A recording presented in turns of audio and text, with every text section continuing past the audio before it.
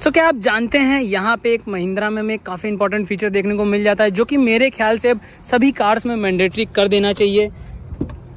जैसे ही आप अपने कार के हुड को ओपन करेंगे ना सो इसका हेजार्ड ऑटोमेटिकली ऑन हो जाता है जो कि मेरे ख्याल से सभी कार्स में मैंडेटरी कर देना चाहिए जो कि सेफ्टी के पॉइंट ऑफ़ व्यू से काफ़ी ज़्यादा इंपॉर्टेंट चीज़ बन जाती है।